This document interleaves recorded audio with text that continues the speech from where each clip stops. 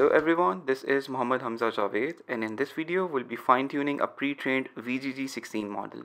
Just to give you a quick recap, in the previous video we trained our model, then we displayed how it performed, we displayed a couple of plots for accuracy and loss, then we predicted a class, and then we compared it to the actual image. In this video we won't be building the model from scratch, we'll be using a pre-trained model instead and we'll fine-tune it. So first of all we'll be importing VGG16 from TensorFlow, Keras, applications. So let's go ahead and run this. The next thing we need to do is instantiate the VGG16 model and this could be done by calling this VGG16 function. Now this function expects a couple of parameters.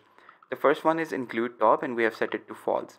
The reason we have done that is we are only concerned about the convolution part of VGG16 network. Here you need to understand what convolutional neural network is made up of.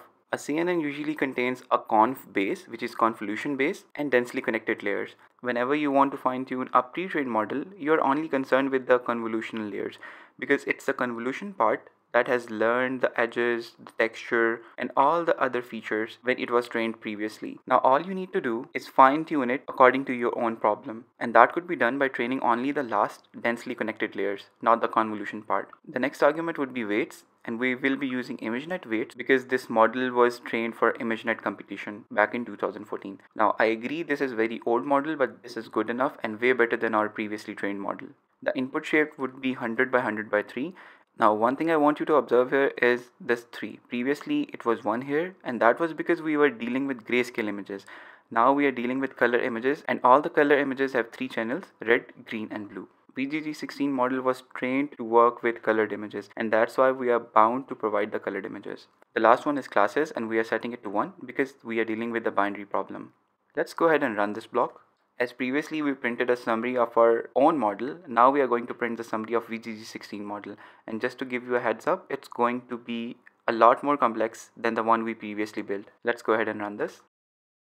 As you can see, we have got a couple of convolution layers, then we have got pooling layers, convolution layers, and pooling layers, and so on.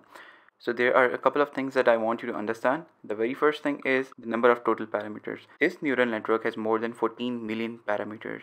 The second thing I want you to understand is look at the last layer over here. This is a pooling layer. All the models that we trained previously, they had a dense layer over here. And previously, it only had one neuron. But now you can see the output shape of this layer is 3 by 3 by 512. Something is wrong, right? Something is not quite adding up. The reason for that is, as I've told earlier, whenever we try to fine tune a model, we only take the convolution part. We don't care about the densely connected layers. Now what should we do? Because the model at its current stage isn't capable of providing us with the prediction.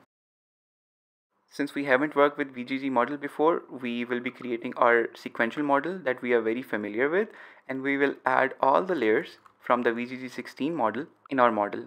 Before we add a layer in our newly created model, we need to make sure one thing.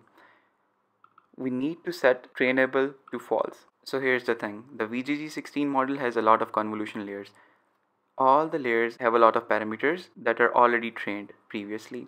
We want to leverage them and only want to tweak the dense layers. So that's why we are setting all the layers to trainable false so their weights don't get changed when we train.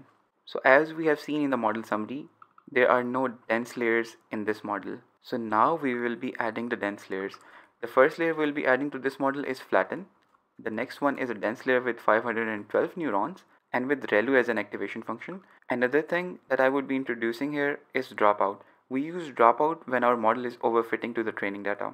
The last layer would be dense layer with only one neuron as we had in the previous videos. And the activation function we are using here is sigmoid. Let's go ahead and run this block. Okay, for your understanding, let me go ahead and print the summary of this model.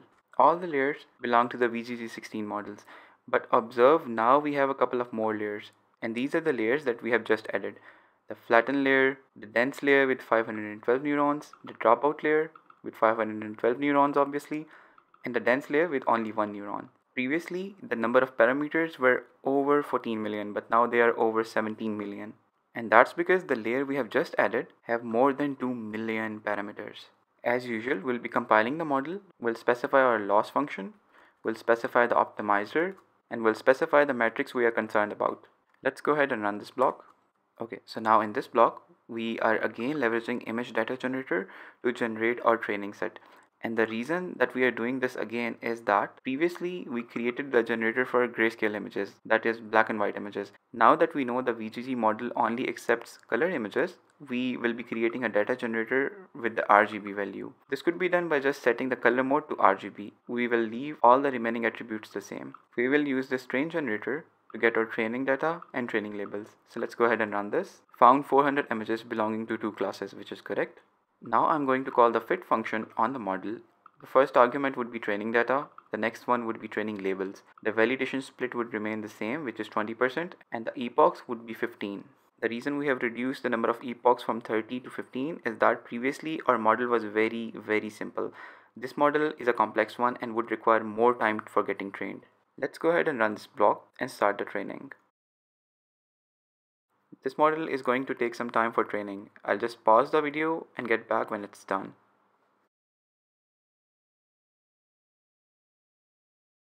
As you can see, the training accuracy is 100%. The validation accuracy is 77%, which is a lot better than the previous model.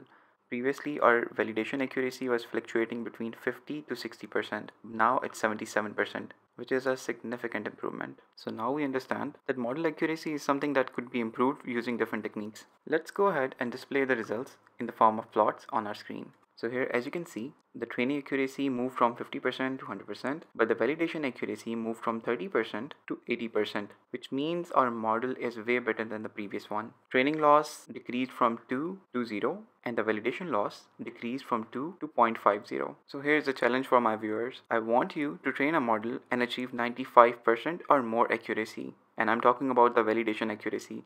If you can achieve more than 95% validation accuracy, just mention me in the comment section below and I'll give you a shout out in the next video. Let's verify the results. We'll choose the image on, let's say, 33rd index. We'll call it a test image. We'll call the predict classes method on our model. We'll get the predictions and we'll fetch the predicted class. We'll display the predicted class and also we'll be displaying the mapping for the labels. Lastly, we'll be displaying the actual image just to verify that the predicted class was actually true. So as you can see, the predicted class was 1 and it is a dog, which means that the model is performing pretty good. Let's try it with another image.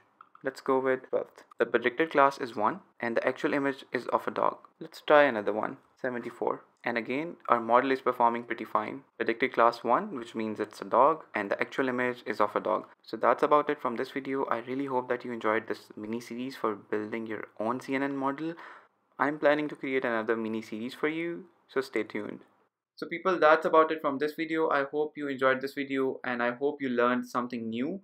In case you liked the video please give it a thumbs up. And in case you think that the video taught you something new please share it with your juniors and your peers also, if you want to see more similar videos, please subscribe.